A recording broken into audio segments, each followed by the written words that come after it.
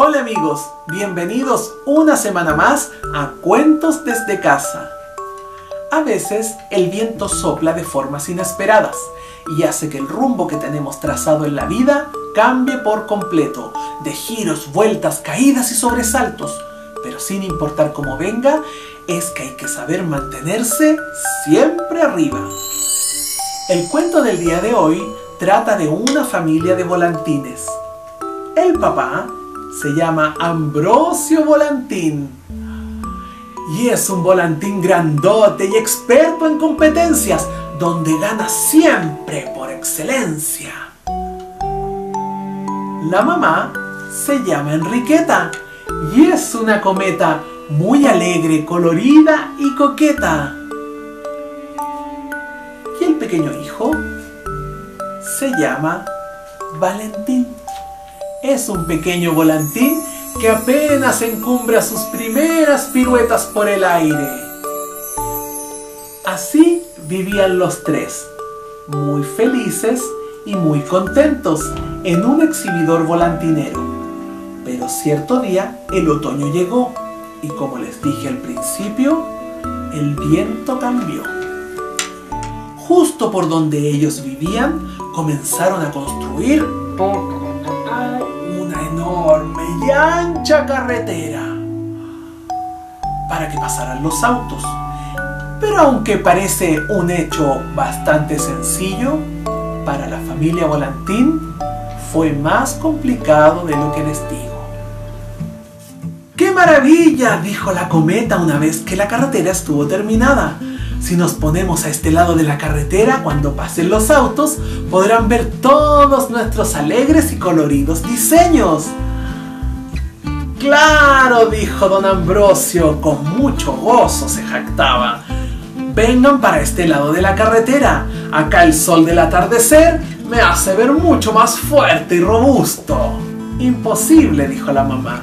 Tú sabes cómo el sol de la mañana hace resaltar mis hermosos colores.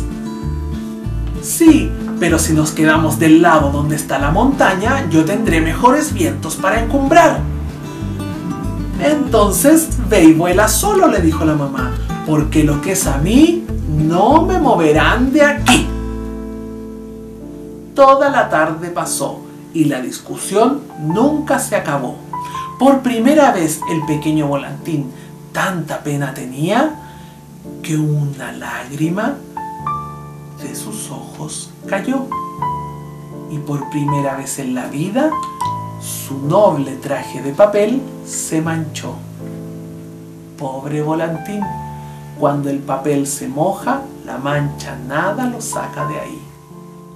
Pasaron las mañanas y también los atardeceres. La hermosa cometa y el gran volantín a sus problemas nunca pusieron fin. Tanto pelearon y pelearon que la razón por la cual discutían olvidaron y solo recordaban lo enojado que siempre el uno con el otro estaban. Entonces cada uno se quedó del lado de la carretera que más le acomodó. El pequeño Valentín entonces tenía que quedarse unos días con su papá y otros días volar hasta el otro lado de la carretera y quedarse con mamá. Cuando se quedaba con su mamá lo pasaba muy bien, ya que se juntaba con chupetes, ñeclas y chonchones, hijos de otras cometas amigas de su mamá. Y cuando le tocaba cruzar la carretera y quedarse con su papá, siempre disfrutaba por las mañanas de una aventura en altura junto a las montañas y por las tardes se paraban junto a la carretera a mirar los colores de los autos que por ahí pasaban. Durante el día todo era alegría, pero al llegar la noche siempre era complicado para Valentín. Con sus papás, sin hablarse entre sí, todo era más complicado y ahora el pequeño Valentín tenía que llevar en sus hilos unas pequeñas cartas con recados que decían cosas como no lo vuelvas a traer con la cola sucia, no vuelvan a jugar cerca del alumbrado eléctrico, no quiero que vuelvan a jugar con hilo curado. Mensajes así iban y venían, pero a la cara nada se decían. Cada nuevo mensaje era una nueva lágrima y cada nueva lágrima era una nueva mancha en el papel de Valentín. Cierta tarde jugaba con su papá muy contento a ver quién podía volar hasta la cima de la araucaria. Las araucarias son muy altas y a ellos les encantaba esa actividad. Hasta que de pronto llegó, algo inquieta, la mamá Enriqueta. Dijo que venía a traer unos remedios para ver si podía disminuir esas extrañas manchas que habían aparecido en el papel de Valentín. Quizás se agarró algo mientras lo llevas a volar por los cerros, dijo la mamá muy inquieta. O tal vez, dijo el papá, se contagió jugando con los hijos de tus amigas. Y así, como una vieja canción, comenzó una nueva discusión. Entre más peleaban y peleaban, los hilos más se enredaban. Y entre más se enredaban, más peleaban. Y entre más peleaban, más lágrimas salían de los ojos de Valentín. Llegó a tal punto la pareja enredando esta madeja que sus hilos forcejeando y tironeando se cortaron.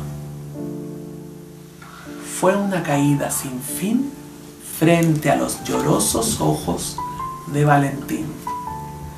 Entonces el pequeño se acercó y con mucha pena les dijo, ¿cómo podré yo algún día volar seguro por la vida si no me enseñan a forjar hilos fuertes que sujeten mi volar?